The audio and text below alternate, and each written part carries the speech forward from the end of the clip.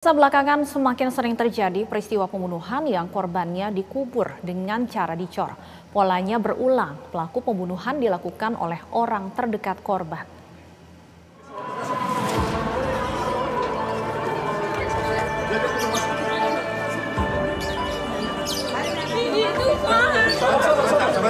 Kasus pembunuhan sadis dengan jasad para korbannya dikubur di dalam rumah dengan cara dicor kian marak terjadi. Tak lain dan tak bukan, cara ini dilakukan demi bisa menutupi jejak pelaku pembunuhan.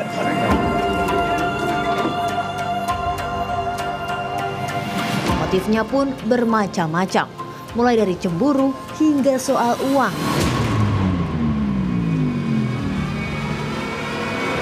Seperti yang baru-baru ini terjadi di Makassar, Sulawesi Selatan.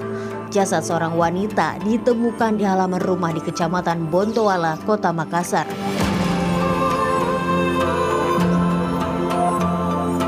Jasad itu merupakan seorang istri yang dibunuh oleh suaminya sendiri lantaran cemburu pada 2018 silam.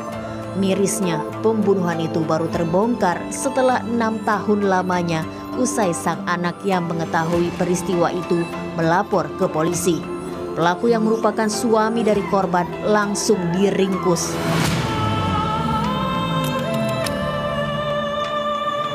Yang tak kalah menggegerkan terjadi di Kabupaten Bandung, Jawa Barat. Jasad seorang pria ditemukan terbujur kaku dengan kondisi badan terikat dan dicor di bawah kasur dalam sebuah kamar yang bersampingan dengan dapur. Petugas pun menggali kubur dan mengevakuasi jasad itu. Dari hasil penyidikan kepolisian, terungkap pelaku pembunuhan yaitu tukang kebun di rumah korban. Motifnya lantaran pelaku sakit hati tak diberi upah bekerja selama dua hari di rumah korban.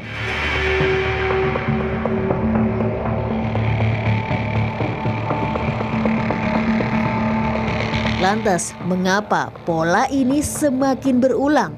Marak pelaku pembunuhan berupaya menghilangkan jejak dengan cara menyembunyikan korban dicor di dalam rumahnya sendiri.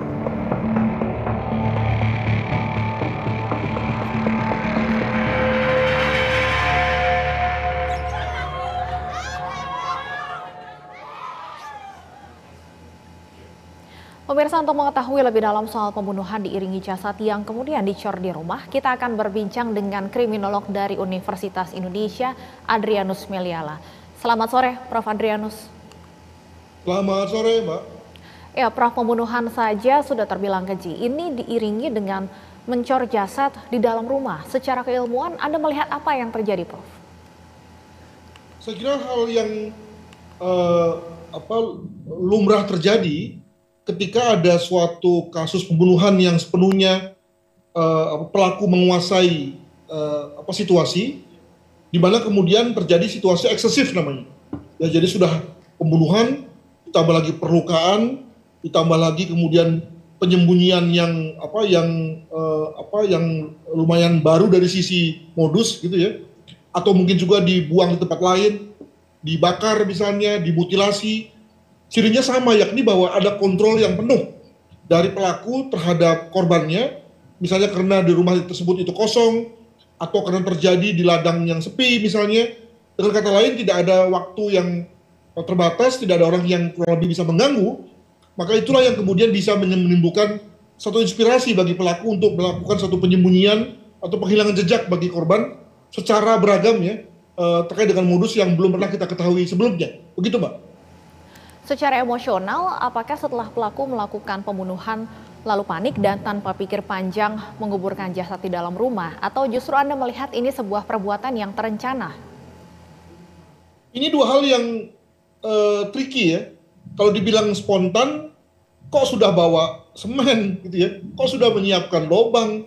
Tapi dibilang dibilang uh, terencana, saya kira sebagai seorang yang baru pertama kali berbuat kejahatan, dan khususnya kejahatan tersebut adalah kejahatan yang serius seperti pembunuhan, maka rasanya pasti ada unsur spontan.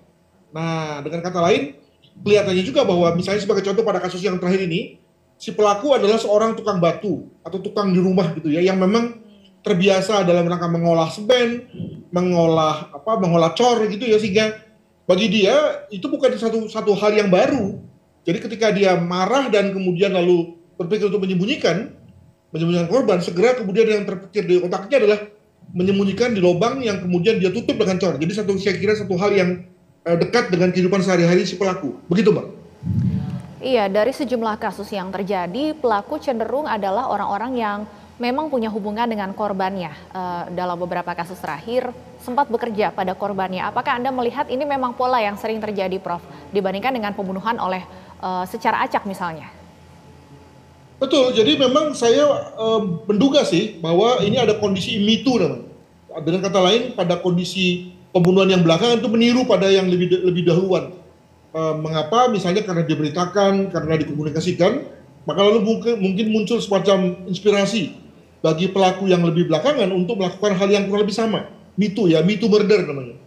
Tapi juga kalau kita lihat dari dari kedekatan antara pelaku dan korban, demikian juga kedekatan pelaku dengan dengan apa dengan kegiatan-kegiatan seperti mem, membuat lubang, me, apa namanya membuat rumah, me, mengecor dan seterusnya, maka rasanya tanpa mitu pun ya, tanpa situasi di mana ada korban yang belajar dari dari pelaku yang lain yang lain, maka sebetulnya juga sudah ada cukup syarat ya untuk kemudian melakukan satu kejahatan di mana kemudian dilakukan modus pengecoran gitu ya.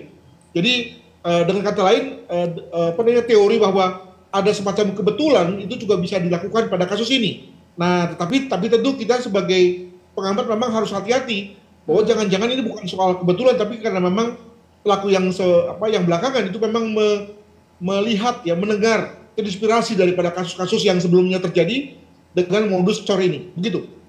Iya, dalam kasus di Makassar, Prof, pembunuhannya bahkan sudah terjadi enam tahun yang lalu dan baru terungkap dari pengakuan anak korban yang saat itu masih berusia 11 tahun. Perlukah kemudian ada pemulihan secara psikologis kepada anak korban, Prof? Eh, sebelum menjawab itu, maka tadi kembali pada kasus atau pada konteks bahwa apakah maraknya kasus pembunuhan dengan dicor itu adalah e, berulang atau mereka belajar atau dengan kata lain itu, maka memang kasus, kasus di di Makassar ini memang memperlihatkan situasi sebaliknya bahwa kasus ini sudah terjadi jauh-jauh hari ya dengan kata lain eh, ketika kasus ini belum pernah ada sebelumnya ya eh, sudah ada orang yang melakukan pembunuhan dengan modus mencor korbannya. Itu yang pertama. Yang kedua tentu saja saya kira eh, sebagaimana manusia biasa maka perlu ada pendampingan. Tentu gradasinya intensitasnya dikaitkan dengan berat ringannya permasalahan yang dihadapi oleh si anak itu ya. Mungkin dulu pada waktu dia masih pertama kali menyaksikan uh, orang tuanya tentu traumanya luar biasa. Dengan berlalunya waktu mereka sudah mulai makin kuat, sudah mulai makin dewasa, maka lalu kemudian permasalahan mentalnya juga semakin berkurang. Dengan kata lain, kita lihat situasinya pada pada diri uh, yang bersangkutan. Kalau memang traumanya parah, maka tentu perlu ada semacam konseling yang intens dari psikolog dan psikiater. Begitu, Mbak. Ketika kemudian pelaku mengatakan istrinya menghilang, uh, sampai sejauh mana, Prof? Kita sebagai warga kemudian bisa mencegah hal-hal serupa kembali terjadi ke depannya supaya bisa lebih cepat terungkap kasus-kasus seperti ini? Sangat sulit tentunya. Kalau saya tidak salah dengar tadi yang diceritakan di VT tadi, uh, kelihatannya antara pelaku dan uh, apa suami korban itu tidak menduga sama sekali bahwa pelakunya adalah si A, gitu ya. Dan juga tidak menduga sama sekali bahwa pelakunya itu kemudian me, apa, menyembunyikan kor, apa, jasad istrinya dan mencornya di tempat tertentu yang kemungkinan merupakan tempat yang sebetulnya biasa, tempat yang dilalui lah gitu ya oleh si si suami korban. Dan dengan kata lain, dan kata lain uh, apa terjadilah uh, situasi di mana uh, hal yang tidak biasalah, yang biasalah yang kemudian sering kali menjadikan uh, apa satu kasus itu kemudian susah terungkap, bukan karena sulit tapi karena tadi terlalu biasa dilewati, terlalu biasa dijalani dan seterusnya sehingga lalu tidak menimbulkan kecurigaan. Barulah kemudian setelah beberapa lama uh, kemungkinan juga ya kalau saya tidak salah uh, karena ada satu kasus ada satu hal-hal tertentu yang kemudian lalu menyebabkan uh, apa tempat itu kemudian dibuka dibongkar barulah kemudian ketahuan di situlah kemudian ditanam uh, jasad istri sang uh, apa uh, sang suami demikian Baik, terima kasih Kriminolog Universitas Indonesia Prof. Adrianus Meliala sudah berbincang bersama kami di Berita Satu Sore. Sehat selalu Prof.